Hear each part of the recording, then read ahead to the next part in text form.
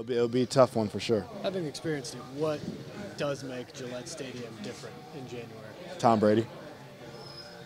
How much better positioned is this team than the last trip up there? You know, you've got Ryan clicking, this offense, Yeah. a lot of weapons, uh, the defense as well. I- I- are you all in better position now than that last playoff game? I think so. I think we're a better team than two years ago, but um, every year is different. Our offense is playing really good right now, and um, we have a lot of confidence in defense. So I think that uh, we're a team that's playing well when we need to, uh, but it's a new season, and we got to play well on Saturday. And that's the one thing I did learn from being a Patriot. It doesn't matter what you did. It doesn't matter if it's on in Cincinnati or whatever, it, whatever it may be. It's um, it's one game at a time in the playoffs, and you got to give it all you got. It's not a best of seven. It's not a best of five. That's why football is the greatest sport because it's the best of one. So whatever team's better on Saturday night, regardless how last week went or two weeks ago, it's all about on Saturday night, and we'll be ready to go.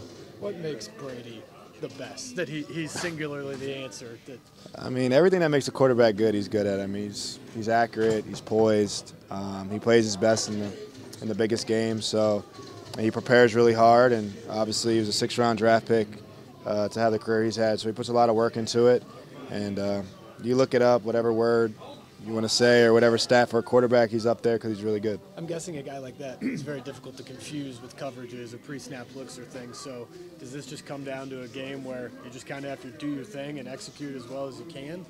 Do, do your job, right? So they'll say it, we'll say it. It's, um, yeah, I mean, we confused them a little bit last year when we played them, but again, that game, I don't know how much relevance it has on this year. So we're going to run our defense. We're going to do what we do. We got to worry about the Tennessee Titans. I know we're playing New England Patriots.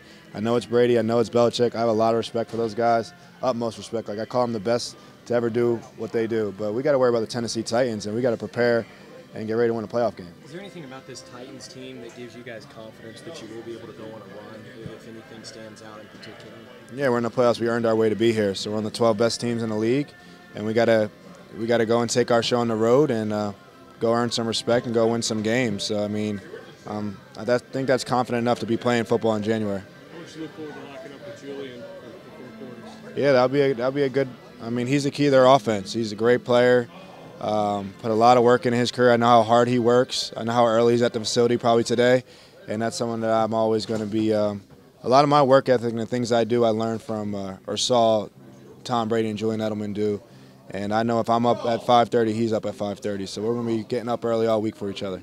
As a player, how much of your legacy and your career is determined in January and in February?